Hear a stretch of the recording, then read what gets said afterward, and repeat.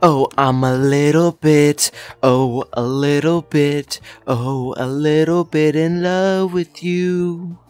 I'm a little bit, oh, a little bit. I need to start this video. I'm getting too into it. Getting too into it. Anyways, welcome back to another Rec video, people. And in today's Rec video, I have a Rec update and a bit of news to actually talk about, including some new stuff that I think you guys are going to like, as well as some bug fixes, and of course, we have that whole caboodle. Before I do actually get started on this news video, though, I do want to say I have a like goal. Let's try to hit 500 likes, because if we hit 500 likes, I'll show you guys a picture of my toe. Yes, that's right, my toe. Now, yes, that's right, had released an update last night, and I actually do want to get into this update because it's quite a big one. Though I do want to make it known, when they first released it, it was quite literally empty, like it was gone, there was no update. So, nice one Rec Room, I guess. What?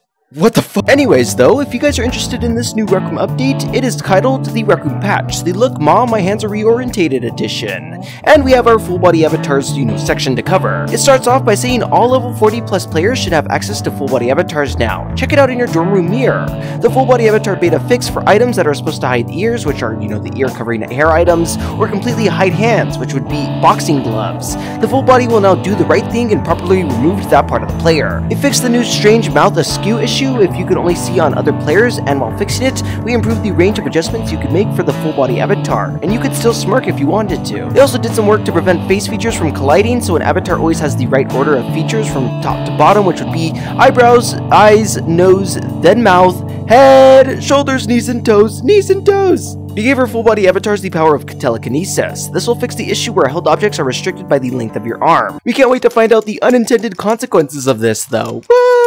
So instead of your arm, you know, being long and stretching out and stuff like that, items will just kind of like, you know, be away from your arm and it'll look like you're using the force on them. There's more full body avatar item fixes for steampunk gloves and dragon knight wrist, and sometimes when switching between avatar types, your avatar's ability to push buttons or trigger volumes with your hands stopped working, and they fixed that. And lastly, they spotted a bug where if you were previewing custom shirts with a full body avatar, you could then go into a rec center with it unowned and see it in your local view, where others, you know, couldn't actually see it. And that's the Rec Room Full Body Avatar update for this actual patch. Now getting into Rooms 2.0. Da da da da da. Oh, oh, oh, sup guys, I'm, I'm just editing this video here and uh, I thought I'd stop and uh, tell you guys to check out my code because I have a code in Rec Room. It's SK0L and you should use it. I'm not telling you to use it, I'm forcing you to use it. It's SK0L, or you guys can go to my profile and press that support button. It's super hassle-free, super easy, and did I also mention that it's free? That's right! But if you do support me, be sure to check every 45 days because it gets rid of that code. Or you guys can go support someone else, or you guys can keep supporting yours truly. Thanks, people, and of course, use code SK0L! Alright, Bye-bye. they had fixed an issue where a hierarchy could have different authorities for different objects within it. Just like the mitochondria is always the powerhouse of the cell, hierarchies will always match the authority of the roof object. Wow, what an analogy. Anyways, loading into a subroom from another subroom in the same room can now show the subroom name in the loading screen in addition to the room name. Default custom, default custom locomotion graph now contains wall run and players are now able to perform wall run out of box on the surfaces that are configured correctly. Parkour! They're supporting the price of offers with inventory items, and offers priced with inventory items do not require Room Plus membership. The price icons for these offers are customizable, similar to the room currency in Rooms 1. And lastly, they added a new Get All Inventory Items in Room chip. All your inventory items are now, you know, belong to them. Tee They released the following from beta, the gun handle and all related chips, trigger volume, get, and set player filter tags chips, all rooms 2 moods chips, player aim assist tag chips, player get is room contributor, parse time, in parentheses, what is time? Not equals Modulo, player get crouch speed, player get his wall running, player get slide speed, player get steering speed, player set wall run enabled, player set crouch speed, player set prone speed, player set slide speed, local player override player voice roll off, local player clear player voice roll off, list add if not contains, list accept, list intersect, list intersection, list union, list distinct, instance get is multi-instance event, instance get lifetime, handle get and set player filter tag chips, get HUD element enabled, and lastly, animation get frame, animation get timestamp, and animation set timestamp. Then they have this little, you know, subsection called touchpad component, which is in beta, and the interaction started slash ended events, it says on screens, this is when you start slash stop using the touchpad. On VR, it is immediately before slash after the touch started slash ended events. Your screen mode avatar is hidden from your own view while using the touchpad, relying on your cursor rather than the hand. And you guys know it, with every update we have general improvements and bug fixes. This is the general improvements and bug fixes for this actual patch. They fixed an issue where in some cases one explosive might not properly detonate to another explosive, kaboom, and then also another, kaboom, and then also another, kaboom.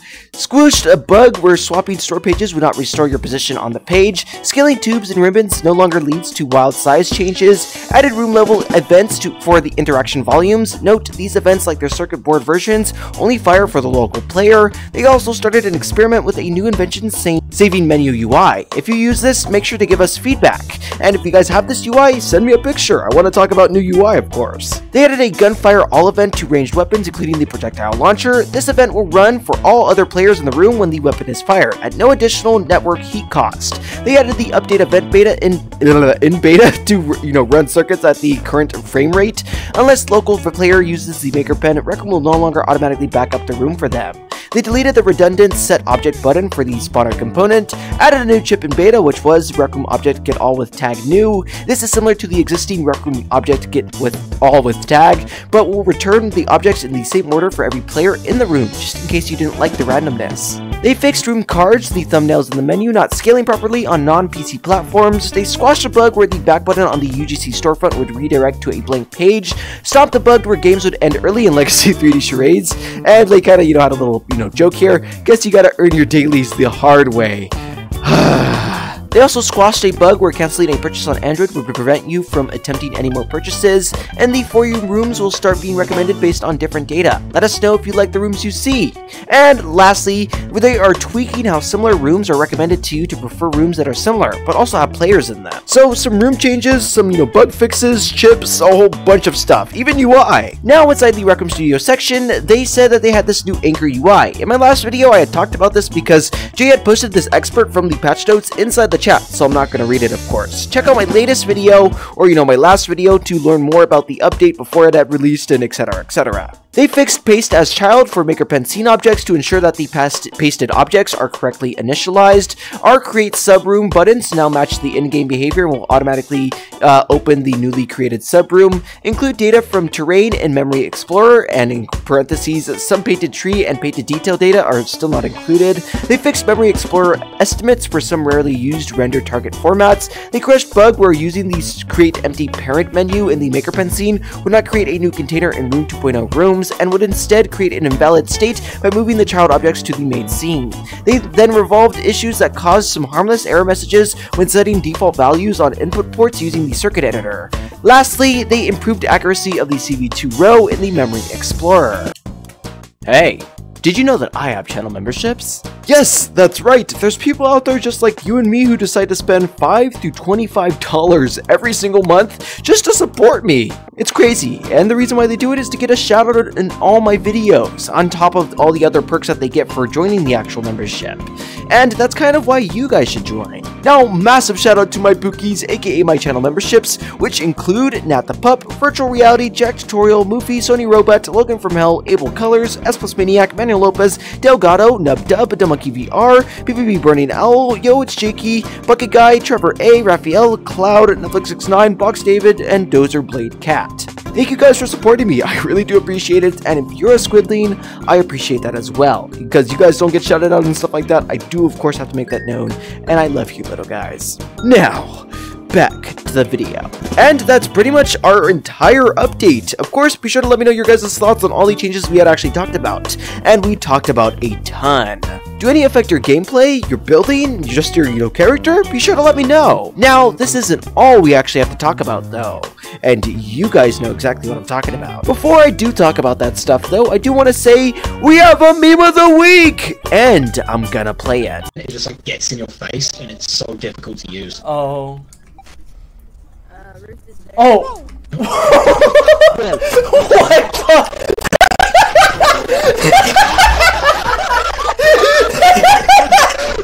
I do want to just say that this meme of the week wasn't actually this week, sadly, and is, you know, just kind of a funny clip that I really thought was funny and I wanted to include into my meme of the week. Enjoyed, people, and of course, I honestly have no idea what happened with Ruth there. I don't know if she was in a car, she was just dashing, you know, in her house and stuff like that, but I have no idea what happened to that clip, and honestly, it was just a super funny clip I saw. I think full body avatars makes it look all the better, and especially in situations like that, I definitely do think full body avatars is better for that. Anyways, though, enough of meme of the week. Be sure to let me know your guys' thoughts on it, and let's talk about the new features. Now, inside the Rec Center, we had actually gotten a new community board with three shorts on the actual YouTube page. Now, that is unseen. I've never seen three shorts filling up the entire YouTube page, not a single video here. On the Instagram page, we have like art and stuff, very cool stuff. We have some, you know, normal in-game images and stuff, and it's uh, all pretty cool things that I like to see. It's kind of strange because I have Instagram and I'm on Rec Room Instagram and I rarely see some of these actual images, though I did see like this art. Now, for our last piece of news, Rec Room had added a new mouth to Rec Room. If you guys go to your customization menu, you guys will find it here. Commonly nicknamed the Ooh Mouth, this is, you know, a new mouth inside of Rec Room, but I do want to talk about that title. I don't know if this is quote-unquote new for, you know, Rec Room players, but I do know that it's new for full-body avatars. I don't know if Beanbody avatars had had this mouth beforehand, but, you know, I'm just kinda dumb like that. So until I'm corrected, I'm just gonna call it the new mouth, and of course, what are your guys' thoughts on it? I think it looks great on my character. Anyways, though, thank you guys for watching so much, and if you guys like this video, feel free to like it. And you guys should totally check out my second channel too, by the way. On my second channel, I kind of make Ship posts and stuff like that. That's kind of just like a little creative freedom channel that I have. And of course, be sure to let me know if you guys have checked it out or are already subscribed. Thank you guys for all the love and support and stuff like that, and be sure to subscribe. I'd also appreciate that. Now, without any further ado, I have to punch you now. Bro fist!